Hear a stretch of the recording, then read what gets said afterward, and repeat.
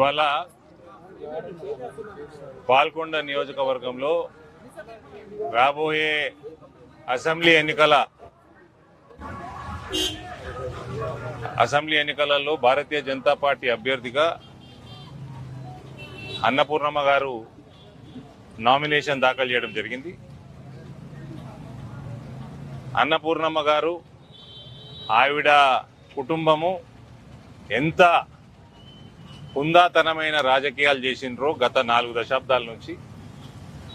అవినీతికి తావు లేకుండా అందరి వాళ్ళలాగా బాల్కొండ ఆర్మూర్ ప్రాంతంలో ఇందూరు జిల్లాలో ఒక మంచి రాజకీయ కుటుంబంగా ఎదిగిన ఏలేటి కుటుంబం మన అందరికీ సుపరిచితులు. ఇవాళ కేసీఆర్ ప్రభుత్వం వచ్చినాక పది సంవత్సరాల నుంచి ఏ రకమైన అఘాయిత్యాలు చేస్తూ ఉన్నారో? అవినీతి మితిమీరిపోయిందో ఎంత మితిమీరిపోయిందంటే డ్యాములు మునిగిపోతున్నాయి డ్యాములు కొట్టుకపోతున్నాయి డ్యాములు పనికి రాకుండా అవుతున్నాయి. ఇవాళ మూడు పెద్ద డ్యాములు ఎనభై వేల కోట్ల రూపాయల వ్యయంతో కట్టిన డ్యాములు ఇవాళ క్వశ్చన్ మార్క్ మిగిలిపోయినాయి.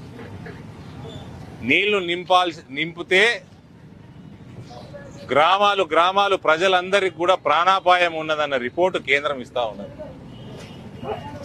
ఇవాళ అవినీతితోటి కాళేశ్వరానికి నేనే ఇంజనీరింగ్ చేసిన అన్న ముఖ్యమంత్రి ఇవాళ నోరిప్పి మాట్లాడలేని పరిస్థితి లక్ష కోట్ల రూపాయలు తెలంగాణ ప్రజలని నీటిపాలు చేసిండు కల్వకుంట్ల చంద్రశేఖరరావు. ఇవాళ బాల్కొండ నియోజకవర్గానికి వస్తే గత పది సంవత్సరాల నుంచి ప్రశాంత్ రెడ్డి ఏ రైతును ఆదుకున్నాడు అని అడుగుతున్నా. పసుపు రైతును ఆడుకున్నావా పసుపు పంట ధర పడిపోయినప్పుడు ఆదుకున్నావా? నువ్వు వరి రైతుకి పదివేల రూపాయలు రైతు బంధు అంటున్నావు. నువ్వు క్వింటాల్కి పది కిలోల తరుగు తీస్తున్నావు. దాన్ని లెక్కలేయండి. రైతన్నలు లెక్కలేమని చెప్తా ఉన్నా. ఎన్ని క్వింటాలు వండుతాయి? ఎకరాకి ముప్పై ముప్పై ఐదు వండుతాయా? ఎన్ని వండుతాయన్నా? ముప్పై. పట్టుకో. ఇరవై రూపాయలు కిలో. ఎంఎస్కి ఇరవై ఒకటే ఉన్నది ఇంకా ఇరవై పట్టుకో.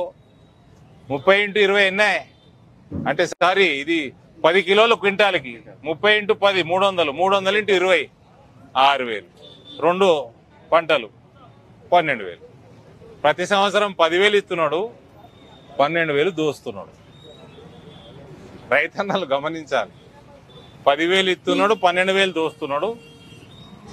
కరెక్ట్ టైంకి కొనుగోలు చేస్తలేడు. వర్షం పడితే గాలికి పోతుంది పంట తడిసిపోతుంది పంట తడిసిన పంట కొనుగోలు చేయడు నష్టపరిహారం ఇయ్యడు సమయానికి కొనుగోలు కేంద్రాలు పెట్టడు. కేంద్రము కొనుగోలుకు కావాల్సిన ప్రతి రూపాయి కేంద్రం ఇస్తున్నది. బియ్యం సంచితోటి సుతిలితాడుతోటి హమాలీ పైసలు ట్రాన్స్పోర్టేషన్ పైసలు అన్ని కేంద్రమే ఇస్తున్నారు నువ్వు చేసే ఘనకార్యం ఏంది? నువ్వు మార్కెట్ యార్డ్లు బాగుపరిచినావా? నువ్వు రైతుల్ని దోసుకుంటున్నావు ప్రశాంత్ రెడ్డి. బాల్కొండ నియోజకవర్గాన్ని దోసుకుంటున్నావు. ప్రశాంత్ రెడ్డి జైలుకు పోతాడు రేపో మాపు. పట్టాపూరు క్వారీ పదివేల క్యూబిక్ మీటర్ల పర్మిషన్ తీసుకొని పన్నెండు లక్షల క్యూబిక్ మీటర్లు తవ్వి దాన్ని అదే గ్రనైట్ని ఆర్ అండ్ బి సంస్థ కమ్మిండు. గ్రనైటా కంకర్ కంకర్ క్రషర్ ఆర్ అండ్ బి సంస్థకి ఎక్కువ రేటు కమ్మిండు. ఇది ఒక స్కాము. ప్రశాంత్ రెడ్డి కూడా జైలుకి పోతాడు. ఎవరిని ఇష్టపెట్టేది ఉండదు కవితను కూడా ఇష్టపెట్టేది ఉండదండి. నిన్న ప్రధానమంత్రి కుల్లా ఇప్పిపోయిండు లాల్ బహదూర్ స్టేడియంలో. ఎవరిని ఇష్టపెట్టేది ఉండదు. మహిళ కాబట్టి డిలే అవుతున్నది. కోర్టుకు పోయింది కోర్టు ఆశ్రయం తీసుకుంటుంది. లిక్కర్ స్కామ్ చేస్తుంటే మహిళాతనం అర్థం రాలే. కానీ ఇన్వెస్టిగేషన్ ఏజెన్సీలు వస్తుంటే నేను మహిళని నా మీద సింపతి చూపెట్టుండ్రి అని దొంగ నాటకాలు చేస్తున్నా. ప్రశాంత్ రెడ్డి నువ్వు గంజాయి దందా చేస్తలేవా?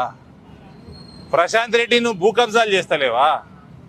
ప్రశాంత్ రెడ్డి నువ్వు దొంగ క్వాలిటీ లేని మీ బాపేమో క్వాలిటీ లేని డ్యాములు కడుతున్నాడు నువ్వేమో క్వాలిటీ లేని చెక్ డ్యాములు కడుతున్నావు. నువ్వు చెక్ డ్యామ్ కడితే కట్టలు తెగిపోతాయి.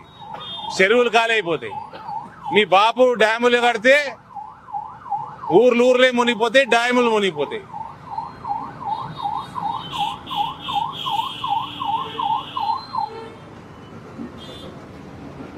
ఊర్లు డ్యాములు కొట్టుకపోతున్నాయి చెక్ డ్యాములు కొట్టుకపోతున్నాయి. ఇలా నీ నీ కుటుంబ సభ్యుల కమిషన్ల భాగోతం ఏంది?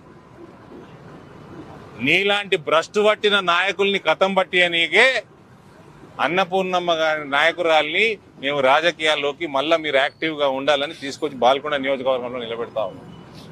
హుందాతనమైన రాజకీయాలు అవినీతి రహిత రాజకీయాలు మన ప్రాంతంలో రావాలి. అన్నపూర్ణమ్మ గారి నాయకత్వం తెలంగాణ ప్రజలకు అవసరం. అన్నపూర్ణమ్మ గారి నాయకత్వం ఇందూరు జిల్లాకు అవసరం. మన పార్లమెంట్కు అవసరం. ఆమె దిశానిర్దేశంలో ఆమె నాయకత్వంలో ఒక మంచి రాజకీయ వ్యవస్థని మనం తయారు చేసుకోవాలి. పసుపు బోర్డు అరవింద్ ధర్మపురి వాగ్దానం భారతీయ జనతా పార్టీ వాగ్దానం కాదు. మా మేనిఫెస్టోలలో లేవు. అది నా వాగ్దానం. నేను ప్రధానమంత్రి నొప్పించి నేను తీసుకొచ్చిన మూడు నాలుగు లక్షల ఎకరాలు మాత్రమే ఉంటాయి దేశంలో. దానికోసం తెలంగాణలో మనము జాతీయ పసుపు బోర్డు ఏర్పాటు చేసుకుంటా ఉన్నాం. దానివల్ల రానున్న కాలంలో పసుపు పంట ధర ఇరవై ఐదు వేలకి తాకినా ఎటువంటి ఆశ్చర్యం లేదు. రేపు పన్నెండు వేల ధర మా ఎన్నికల ప్రణాళికలో మేము పెడుతున్నాము. పన్నెండు వేల కంటే తక్కువ ధర ఉంటే పసుపుకి పూర్తి భర్తీ భారతీయ జనతా పార్టీ ప్రభుత్వం చేస్తుంది. ఇవాళ ఎటువంటి పరిశ్రమలు రాలే ఎటువంటి ఉద్యోగాలు రాలే స్కూళ్ళు నాశనం యూనివర్సిటీలు నాశనం హాస్పిటల్ రాలే భీమగల్ల బస్ స్టాండ్ కట్టరా నాయన అంటే పైసలు లేవన్నాడు. వాగ్దానం చేసిండు కదండి. ప్రభుత్వంలో ఉన్నాడు కదండి. ఆర్ అండ్ బి మంత్రి ఉన్నాడు కదండి. హౌసింగ్ మంత్రి కూడా ఉన్నాడు. ఉన్నాడా? ఒక్క హౌస్ కట్టిండా? కట్టిన ఇన్నో అన్నో కొన్ని ఇండ్లు కడితే అది నీ వర్షాకాలం నీళ్ళు ఉరుస్తాయి. అదే డ్యాములే కూలిపోతున్నాయి ఇల్లు ఎప్పుడు కూలిపోతాయో తెలియదు అందరూ బిక్కు బిక్కుమని బతుకుడే రైతులు వరి ఆరే పోసుకుంటే బిక్కు బిక్కుమని ఎప్పుడు వర్షం పడుతుంది బతుకుడే. ఇలా తిరుగుతూ ఉంటే మక్కలన్నీ రోడ్ల మీద ఆరేసుకుంటా ఉన్నారు. భారతీయ జనతా పార్టీ ప్రభుత్వం తీసుకురండి. నేను రైతన్నలకు చెప్తా ఉన్నా మీరు కోతలు పోయంగానే అదే రోజు వ్యాపారస్తులు తీసుకొని వెళ్ళిపోతారు. మీతో టైఅప్లు అవుతాయి ఇండస్ట్రీస్ వస్తాయి ప్యాకేజింగ్ ప్రాసెసింగ్ యూనిట్లు వస్తాయి వేర్ హౌజ్లు వస్తాయి.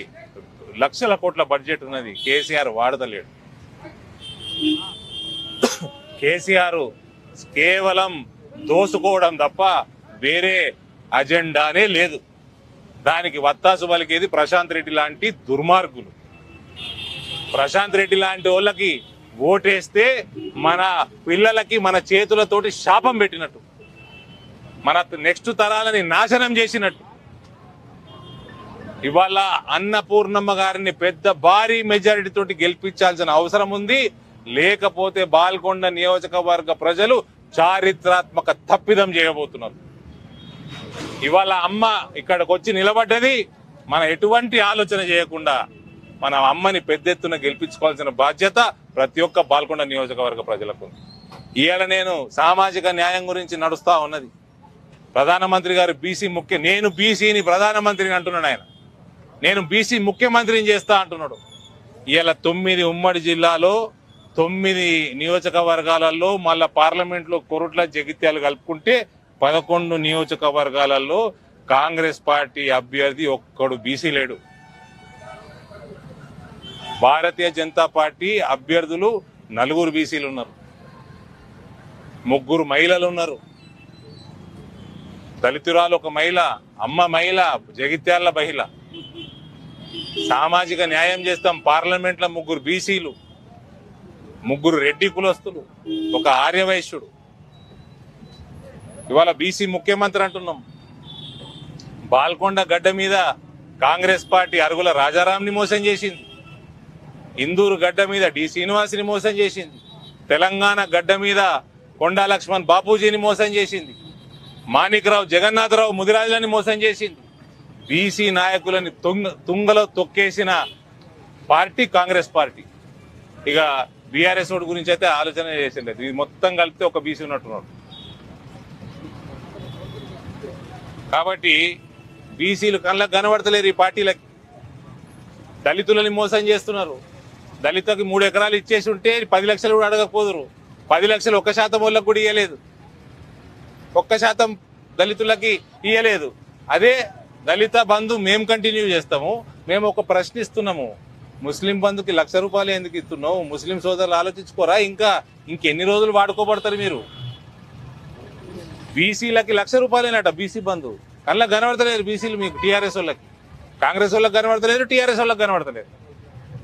ఇలా సామాజిక న్యాయం భారతీయ జనతా పార్టీ చేస్తున్నదని అటు ఇటు ఉరుకులాడుతున్నాడట మీ మీ అభ్యర్థి కాంగ్రెస్ పార్టీ అభ్యర్థి హైదరాబాద్ ఉరికినాడు కదా? మళ్ళా పాత అభ్యర్థికి టికెట్ ఇస్తామంటున్నారట. ఇన్ని రోజులు పద్మశాలి సోదరులు కనబడలే కాంగ్రెస్ పార్టీకి బీసీలు కనబడలే. భారతీయ జనతా పార్టీ సామాజిక న్యాయం చేస్తుందని ఇప్పుడు కంటి తుడుపు చర్యలు చేద్దామని తయారవుతున్నాం ఇవన్నీ గమనించుకోవాల్సిన బాధ్యత బాల్కొండ నియోజకవర్గ ప్రజలది. అమ్మని గెలిపించుకోవాల్సిన బాధ్యత భారతీయ జనతా బాల్కొండ నియోజకవర్గ ప్రజలది. బీజేపీని పెద్ద ఎత్తున గెలిపించాలి ఇక్కడ. మేము ఇవన్నీ కూడా కోరుకుంటూ ఇవాళ మా బ్రహ్మాండమైన ర్యాలీ అమ్మగారి నామినేషను ఇవాళ వేయడం జరిగింది. మీ ముందరకు వస్తున్నాము. నేను బాలకే బాల్కొండ నియోజకవర్గ ప్రతి ఓటర్కి పాదాభివందనాలు చేసి అడుగుతా ఉన్నా దయచేసి అన్నపూర్ణమ్మ లాంటి నాయకురాల్ని పెద్ద మెజారిటీతో గెలిపించి ఒక మంచి అడ్మినిస్ట్రేషన్ని మంచి రాజకీయాన్ని ప్రోత్సహించండి. బాల్కొండ నియోజకవర్గంలో పసుపు రైతులు కానీ ఇతర రైతాంగం కానీ చాలా అవేర్నెస్ ఉన్నోళ్ళు దయచేసి మీరు అందరు ఆలోచన చేసి నరేంద్ర మోడీ గారి నాయకత్వాన్ని ఇక్కడ బలపరచాల్సిందిగా కోరుకుంటాము థ్యాంక్ యూ